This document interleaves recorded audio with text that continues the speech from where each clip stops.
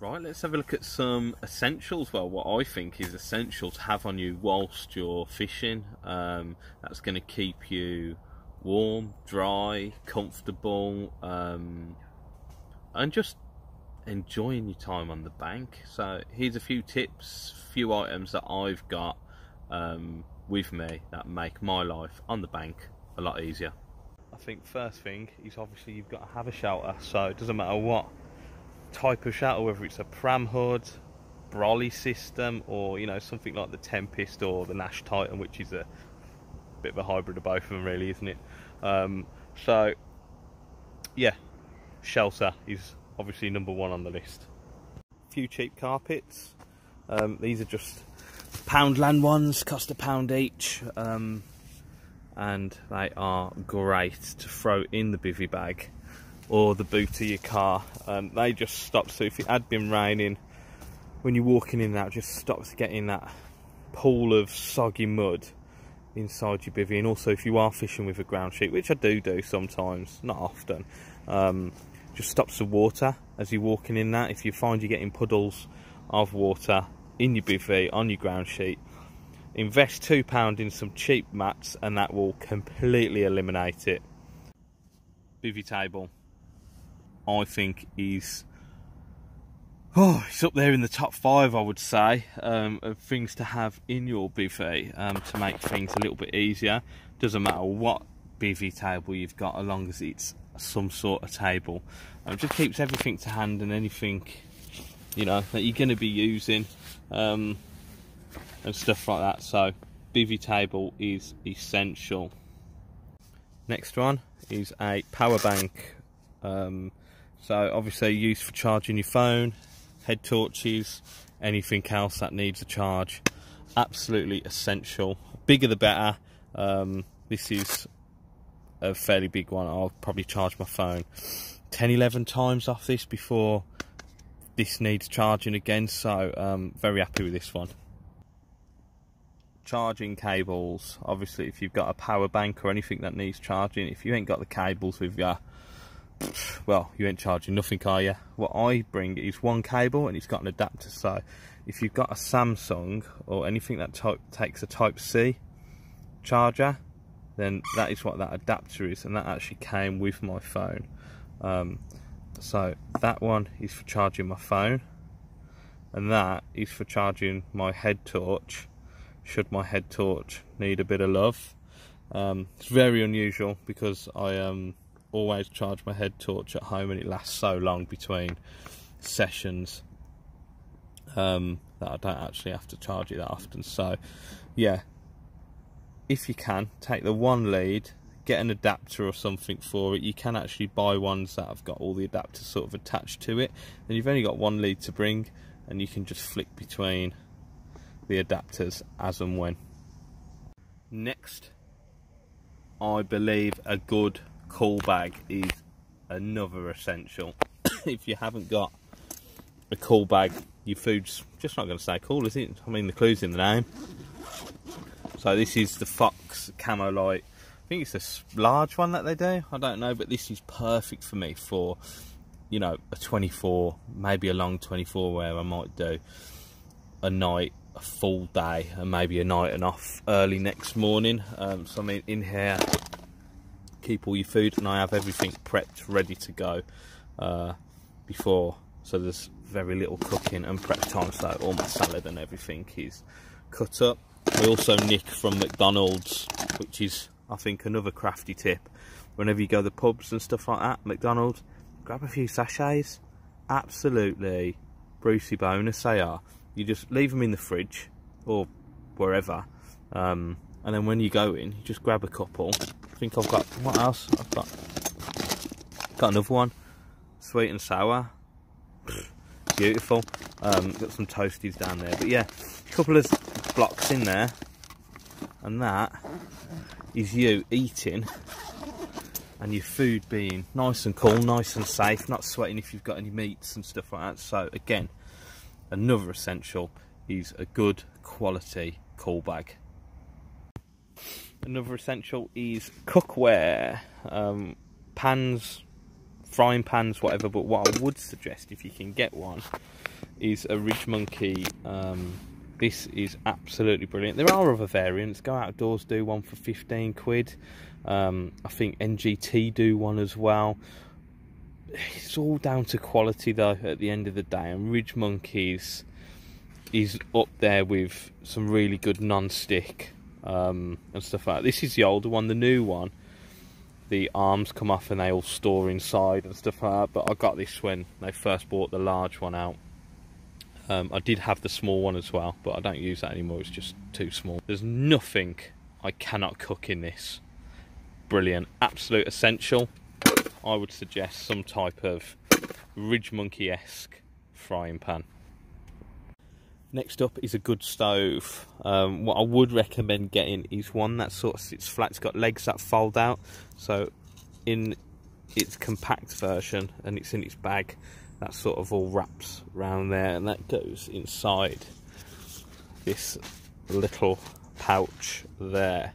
Um, and the gas goes in there. So definitely if you're going to buy a stove, don't get ones that screw onto the top of your can. Trust me, I've done it. I didn't want to spend the extra 10, 11 quid that it was to get one of these. Um, I was just being a tight ass, but now that I've done it, I mean, I've had this a few years now, um, completely changed my life. No more pans falling off the top of the ones that sit on here and losing my dinner and everything like that. It's nice and flat, low to the ground, so most things slip off. You can catch it or you've caught half your dinner and you've only lost half of it, whereas opposed to losing all of it if it's on there. Kettle is another good one. Um, I mean, I don't drink tea. Anyone that comes fishing with me knows I don't drink tea. Um, although saying that, I think I have got tea bags for like guests that want tea. Don't bring milk because I'm lactose intolerant, so you can certainly have a black tea if you want one. But um, yeah, you ain't going to get any milk off me. So yeah, there's another essential. Invest in a decent stove uh, doesn't really matter about. I mean, I think this was two quid from Go Outdoors, something like that. Um, yeah, so cookware and stove are essential. The humble water butt. Um, what more can I say about it? Somewhere to store water, isn't it? So make sure you empty it after every session, fill it back up with fresh water. Um, if you are going to store it at home, what I tend to do is just leave the lid loose like that so it doesn't sweat and stuff and get condensation and mould. Um, so just leave that slightly loose and that will dry out nicely in between sessions. Um, but yeah, the water butt is another essential. Slip-on footwear? I mean, absolute essential for me. it doesn't matter what they are, as long as they slip onto your feet and there's no laces or anything like that that you can trip over and these for me, these are just the Fox Crocs. I mean, I have got a pair of just black ones, and to be fair, my black ones are a lot better than these. These are quite thin on the sole, um, sort of thing, but they're essential for getting out of your bed quickly in the night to get to your rods.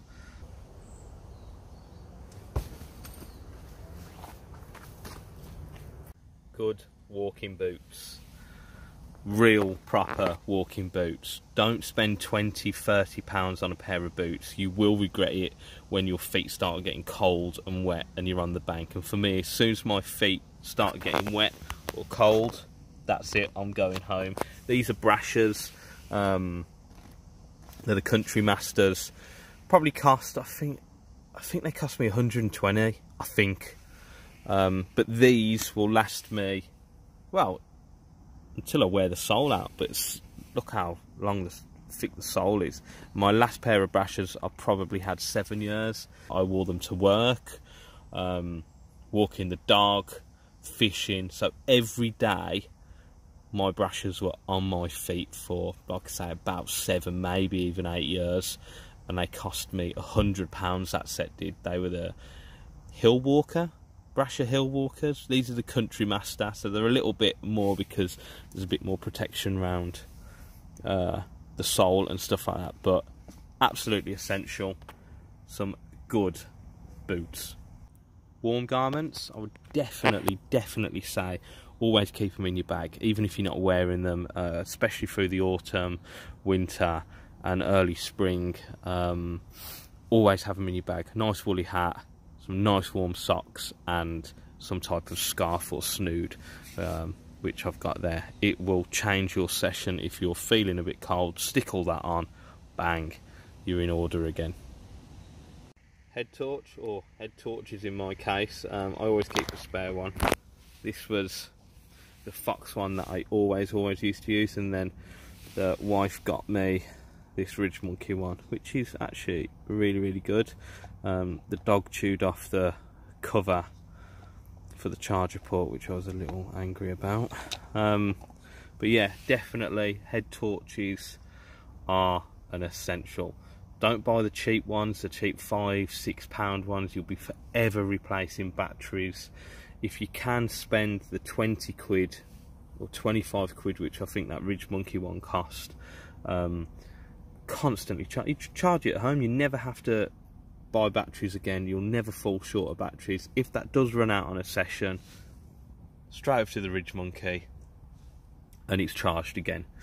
So invest in a good, if you can, rechargeable head torch, and then keep your battery one as a backup. And obviously keep batteries in it that I've got some charge and I have spare ones for that I let my lad use that to be honest when um, he comes with me. So yeah good reliable head torch. The next one is obviously a bit more common sense and something that you'd go out and purchase but it is a pocket or somewhere that you store stuff that is quick access um, and you know that's the only place that that goes. For example, car keys, any sort of medicine that you take fishing with you, you know, if you're diabetic or anything like that. Um, even if you got the flu and you're going to take some tablets with you. So for me, I keep everything in my pocket and my backpack under my bed and I have it orientated this way so I know that this pocket here is where I keep everything. I've got a bit of a sore throat at the moment so I've got some Strepsils some vapor rub that are stuck in there today. Most importantly, car keys. Lose them, you're staying down the lake. Might be a good idea for some people, but I do like to go home and see the missus and the kids. Um, yeah, so I keep a, a lot of stuff uh, that I need to know where it is and I don't want to lose. I keep it in a particular pocket. And for you guys, that might be something like, uh, you know, a bed chair buddy or anything like that. But for me, it is a pocket on my uh, backpack that I stick under the bed and I orientate my bag so then pockets are there like that. The towel, I mean, how simple can it get? Make sure it's a decent size, don't get you know a little tea towel because you're going to dry nothing with that, especially if you fall in or get caught in the rain. Um, dry your hair, if you've got no hair, dry your bald head. Um, but yeah, make sure you've got a towel and you just roll it up and that'll just sit straight in my bag like that. Make sure it's clean. Don't be a tramp. Leave it in your bag for months and you're just washing yourself with some dirty towel. Uh, if you've got a missus like mine who's absolutely top, she'll go in your fishing bag and she'll take it out and wash it for you. So there's a few things that I would probably add to that list. Things like uh, quality waterproofs. Um, don't get cheap ones. You will regret it. They won't last, and they're just not as waterproof as as you know a good pair. So bear that in mind. Um, good warm jacket. Uh, some sort of puffer jacket or something like that. Some sort of fleece lined jacket. Um, essential, but again, it's all very seasonal. Uh, these sort of items. Same with you know, insect repellent and that sort of stuff. Uh, sort of erring on the side of common sense really than essential bits that will make your life on the bank that little bit easier all year round. Um, hot water bottle again, that's another uh, seasonal option, but again, can change a terrible cold session into something that's actually ve you know very bearable or enjoyable in some cases. Stick that at the bottom of your bag. Um, life changer, as far as I'm concerned. It's you know really turned a couple of sessions around for me when I, I used to winter fish before the kids and stuff like that. So yeah, hot water bottle is definitely one. Again, with your essential kit like water butt, kettle, and stove, uh, throw a hot water bottle on that, uh, and yeah, you're staying warm pretty much the whole time you're on the bank. So, is there anything else that you'd add? Things like plasters uh, and stuff like that. I don't know. Leave me a comment below. Anything that you take that you believe is absolutely essential. Things that make your life a little bit more comfortable or a little bit more efficient on the bank. Um, yeah, drop it in the comments for us all to have a read through and, and maybe take some tips and hints and stuff like that off, off you guys as well. So it's always nice to read through. And until then, um, yeah, stay safe, guys, and enjoy your fishing.